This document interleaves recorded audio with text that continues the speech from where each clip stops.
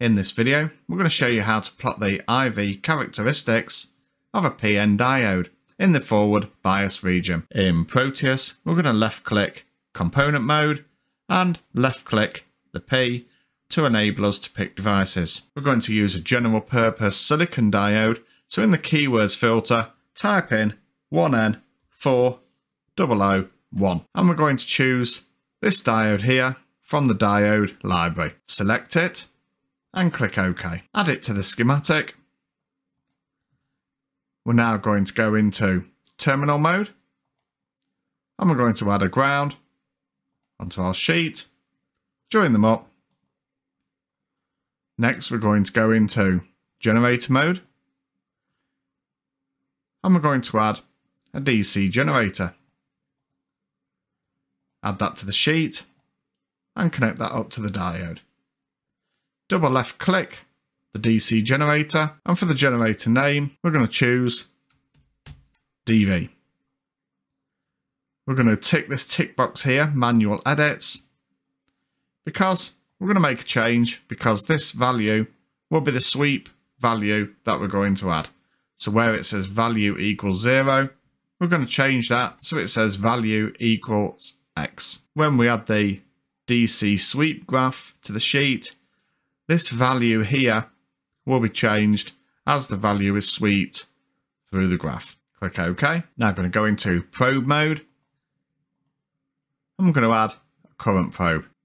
We're going to drop that down and make a connection here. Double left click it. And we're going to change the name again to DI. Click OK. Now we're going to go into graph mode.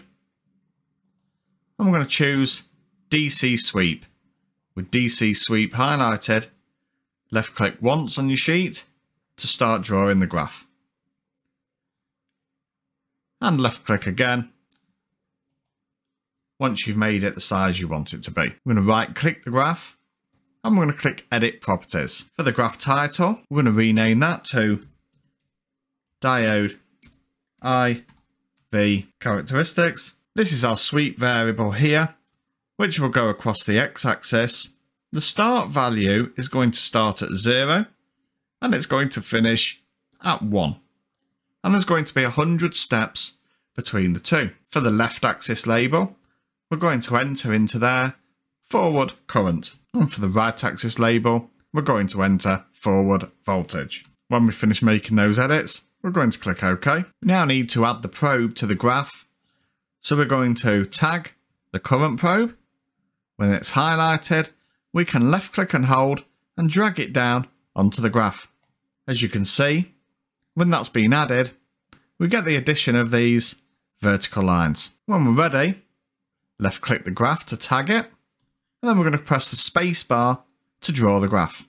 With the graph drawn, this is now the IV characteristics of the diode in the forward bias region. If we want to view this in full screen, we just simply left click on the title of the graph and that will now show us in the full screen mode. We can hold down the shift key and then use the mouse to drag an area of interest and that will zoom in for us. If we left click, we can place a cursor on the graph and we can move that cursor along and take any readings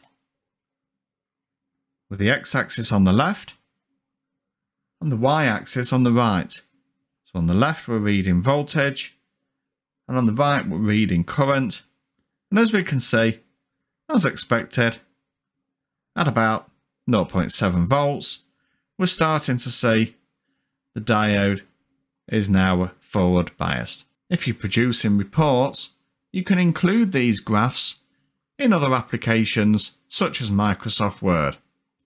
If you right click on the graph and then left click copy to clipboard, we can then drop into Microsoft Word and we can then right click and select paste. That now adds the graph to your Microsoft Word document. If you're interested in learning more about Proteus and found this video useful, you'll find that this next video is just perfect to watch. Thank you very much for watching.